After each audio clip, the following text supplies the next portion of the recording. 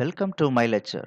Today uh, we are going to uh, see how to derive the equation for finding acceleration of the piston. Okay, so because uh, as far as inertia force is concerned, uh, we need to know the acceleration of the piston to find out the inertia forces which are acting on the piston. Okay, so if you want to find out the uh, inertia forces, we know that inertia forces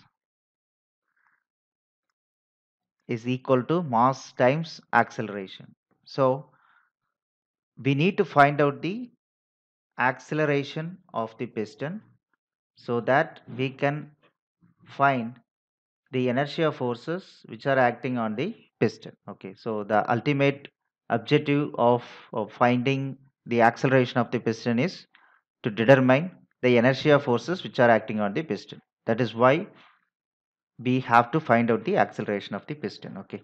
So this is a slider crank mechanism. So here initially the piston is uh, at this position that is at p dash okay? So the theta value will be 0 and phi value will also be 0 okay? So initially the piston is at uh, p dash and then it start to move towards this direction okay?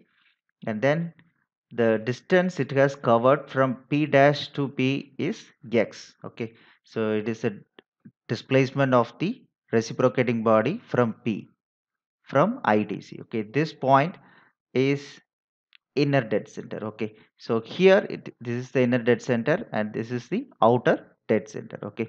And we all know that uh, l represent length of the connecting rod and r represent the radius of the crank and n is the ratio of length of connecting rod to the radius of crank that is L divided by R okay? So theta is the angle tanned by the crank from the inner dead center okay? So when the piston uh, started moving from P dash so here the crank angle uh, is obtained from this line of stroke. So that is theta okay? This is the angle tanned by the crank from the inner dead center. Similarly here the phi represent the inclination of the connecting rod to the line of stroke PO okay? So these are all the parameters that uh, we need to remember uh, before deriving the equation of uh, velocity and acceleration of the piston okay? And here uh, the displacement of the piston is obtained by finding the distance between p dash to p. Okay that is the x okay? It is the displacement of the piston for this instant because here the t uh, the crank has traveled to theta angle and the piston has traveled x distance from p dash that is idc okay? So this distance is p dash p okay? Which is equal to o p dash minus o p okay? So this x distance can be found by subtracting this op from op dash. And also we know that ob dash what is that ob dash is? Here op dash is equal to p dash c dash plus c dash o okay? So this entire thing represents op dash okay. And then op so where is op here is op op which is equal to pq plus qo okay. Pq plus qo so okay this is what that uh, equation means okay. So x is the displacement that is the distance between p dash to p. So this can be found by this representation okay so next thing is uh, we know that uh, this term that is p dash c dash this which represent the length of the connecting rod L and this C dash to O which represent the radius of the crank. So here we have replaced this P dash C dash, C dash by L and C dash O by R okay minus then PQ this is the term that PQ PQ is L cos phi plus QO is R cos theta. QO is R cos theta. Okay. So how it is found? By using that uh, trigonometry concept that we know. Okay. So say for example, uh, so I've just taken this triangle. Okay. That is P C Q. Okay. And this is the angle phi. Okay. This is the angle phi and then this is the L. Okay. So what is cos phi? Cos phi is equal to adjacent side that is this side divided by L. Okay. And this term becomes that is L cos phi. Okay. So the PQ is L cos phi. PQ is L cos phi. Similarly, by using the trigonometry concept, we can find out Q0 which is equal to R cos theta. Okay, so we have replaced PQ with L cos phi and QO with R cos theta in the previous equation. Okay, so the next thing is, so I just taken this R outside from the equation. So R uh, multiplied by 1 minus cos theta plus here I'm just taking L outside L multiplied by 1 minus cos phi okay and now uh, I'm just going to uh, consider that R common to all these equations. So here I'm just taking R outside. So 1 minus cos phi cos theta plus so here there is no R. So I have added it here. That is L by R 1 minus cos phi. Okay. So the both the equations are same. Okay. For uh, deriving the displacement. So we have just taken this R commonly outside from this equation. And then I just found this equation. Okay. And here uh, we know that this is L by R is N okay?